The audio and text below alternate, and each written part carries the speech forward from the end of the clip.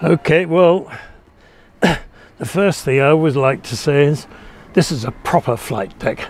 None of this poncy glass cockpit rubbish. These are proper instruments, needles and dials. So what we've got here, first of all, the flight instruments. You've got a suite of flight instruments for the captain, the left-hand seat being the captain's seat, and those instruments all reproduced for the co-pilot on the right-hand seat. And I don't know how whether you can see them clearly or not, but the instruments are airspeed indicator. That's a standby. That that's the airspeed indicator there. Artificial horizon, rate of climb and descent indicator. That's a radio altimeter, pressure altimeter, and another altimeter here. A compass here, and a compass here, and a Mach meter there and that shows the angle of incidence, that instrument there. And those instruments are all reproduced on the right hand side. In the middle, you've got engine instruments for the four engines N2s, N1s, EG, fuel flows, EGTs, and the area of the nozzle at the back end of the engine.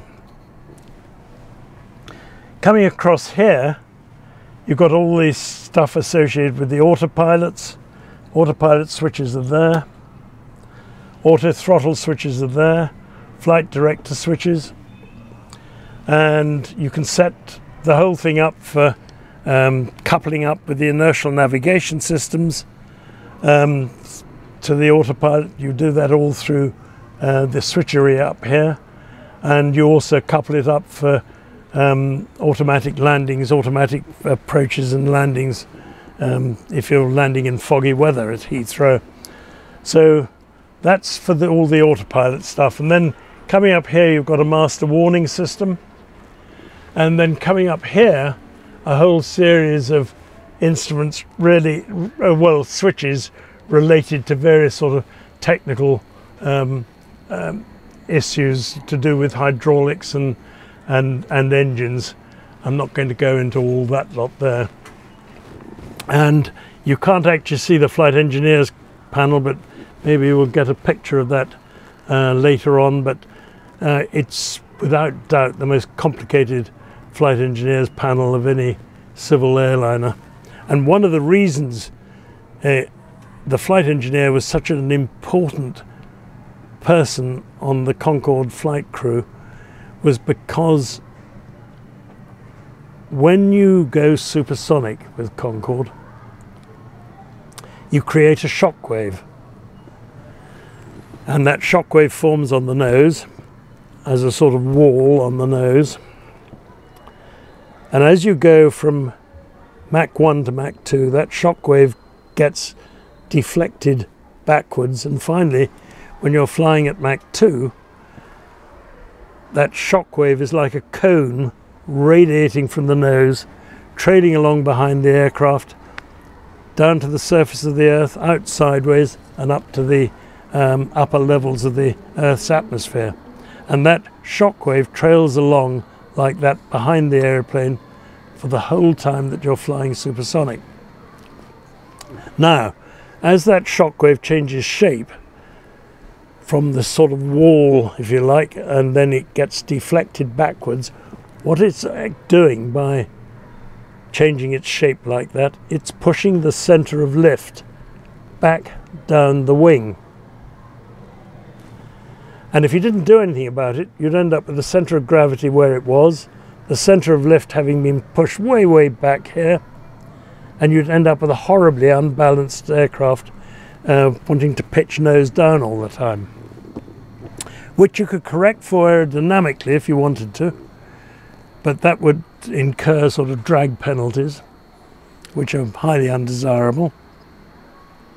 So the solution to it, and this is just one of the examples of what a brilliant team, and I can't emphasize this enough, the team of aerodynamicists and engineers who created this wonderful, wonderful aeroplane were a brilliant team of people. They really were. And one of the solution and the solution they came up for that particular problem was, hey, if the center of lift moves back down the wing, let's move the center of gravity back with it. And then when it goes subsonic and the reverse process happens as the center of lift moves back forwards again, we can pump that fuel back forwards again. And that's exactly what we used to do. And that was the flight engineer's job was to change the position of the center of gravity. And just to illustrate the amount of the change, by comparison with the position of center of gravity at takeoff, by the time you were flying at Mach 2 and you'd push the center of gravity back by pumping fuel into tank 11 in the tail cone, the center of gravity was about eight or nine feet aft of the position it was in for takeoff. Mm. So it was a substantial movement. Mm-hmm. Um, and it was something that needed to be monitored, obviously, very, very carefully. Very important aspect of the whole thing. Another thing, while I'm on the subject of these brilliant engineers and aerodynamicists, because you're going so fast, you're the airplane, the airframe is being subjected to frictional heating and to heating caused by compression. And the temperature on the skin, on the nose, goes up when you're flying at Mach 2 to a maximum of 127 degrees. That was the limiting temperature. 127 degrees Celsius. That's about 260 degrees Fahrenheit. And you, you could, I could pull back this trim up above my head here and actually touch the bare metal of the aeroplane. And I tell you what, you didn't keep your finger there any length of time at all. It was red hot. And the airplane actually expanded by about nine inches, they tell me, so you've got this airframe expanding as you go supersonic and then contracting again as you go subsonic. You can't have that process affecting the passenger cabin. I mean, the passengers would be most disconcerted if they saw the cabin floor sort of stretching and the carpet ripping itself apart. Um, so the whole cabin floor sits on a system of rollers, if you like, so that the fuselage can expand and contract and leave the cabin floor completely unaffected by the whole process. I mean, they were just a brilliant team of people. Like, they, they, they were geniuses, some of them. They really, truly were. The, the brain power that went into this is staggering. No other word for it.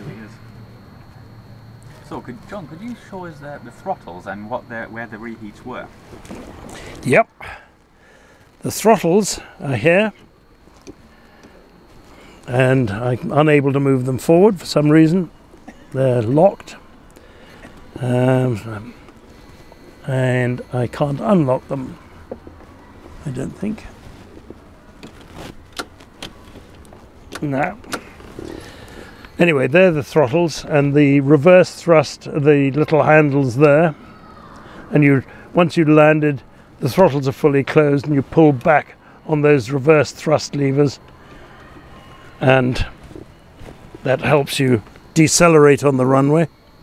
And then the reheats in the actual aeroplane that I flew, we're sitting on a prototype Concorde here, and it's a bit different. The instruments are not entirely exactly the same as they were on the airplanes that I used to fly. I've never flown this one at all. Um, the reheat switches in the production aeroplanes that British Airways flew had piano keys for reheat switches. On this airplane, you can see they're just switches, just toggle switches. On the real airplanes that I flew, they were nice white piano keys, four of them in line there. And there's a gang bar that you could select them all four up at the same time and a gang bar to select all four off at the same time. So when you got to the pre-takeoff checks, one of the items would be to select the reheats, pre-select the reheats on. They wouldn't come on because the throttles are at idle at the moment. And then once you started the takeoff run, you'd, as you opened the throttles up, those reheats would automatically cut in, and off you go blasting into the air. And at whatever the noise abatement time was, something like a minute and 15 seconds after starting the takeoff would be a typical sort of noise abatement time. The non handling pilot would go three, two, one noise, and the flight engineer would then cancel those reheats and throttle the engines back to a predetermined uh, setting on the throttle quadrant. And that would obviously cut the noise level, and we'd tiptoe past Windsor Castle so as not to disturb Her Majesty, and uh, and then sort of gradually reintroduce full dry power, unreheated power, for our climb up to the subsonic cruise altitude. There was also another unique feature was that the nose cone actually moves up and down, doesn't it? Yep. The nose cone does move up and down, and there's the control. And uh, basically, um, four positions for it.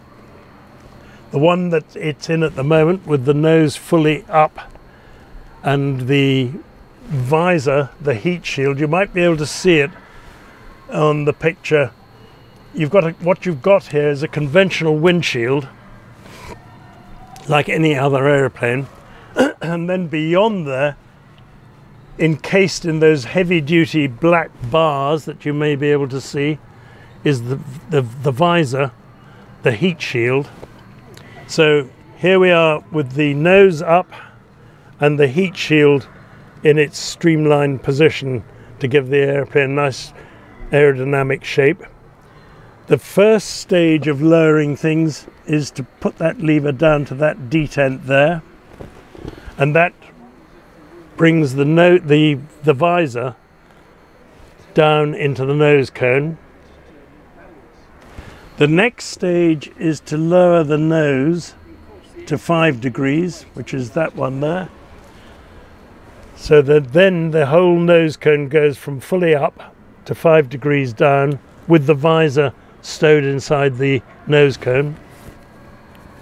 And that's the position that we used to use for taxiing, for takeoff, and for flying around in the immediate airport area.